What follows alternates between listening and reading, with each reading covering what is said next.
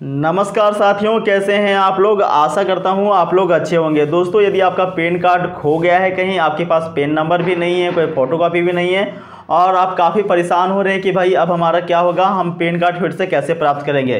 तो दोस्तों, बिल्कुल भी आपको घबराने की आवश्यकता नहीं है। बस आपको ये ध्यान रखना होगा कि आपका पेन कार्ड किस कंपनी के द्वारा बनाया गया है। देखिए, भारत के अंदर टोटल तीन रजिस्टर्ड कंपनी है पेन कार्ड बनाने वाली। एक यूटीआई है, दूसरा, एनएसडीएल है और तीसरा, इनकम टैक्स खुद है। बस आपको ये पता होना चाहिए कि इन तीनों में से किस कंपनी के द्वारा आपका पेन कार्ड जो है वो बना है।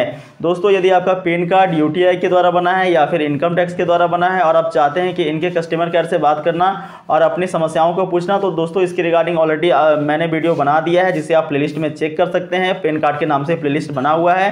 हालाँकि उसका लिंक भी मैंने डिस्क्रिप्शन बॉक्स में डाल दिया है।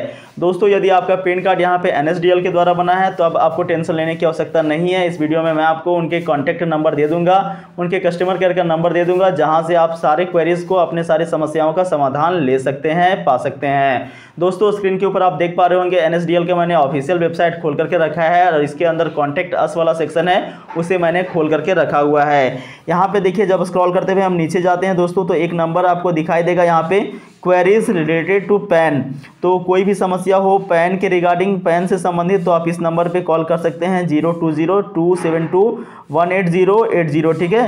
तो इस नंबर पे कॉल करके दोस्तों, आप अपनी सभी समस्याओं का समाधान पा सकते हैं पेन कार्ड के रिलेटेड ठीक है? लेकिन दोस्तों, आपका पेन कार्ड एनएसडीएल से बना होगा, तब ये लोग जो है, वो आपको पूरी तरीक़ा से सहायता करेंगे।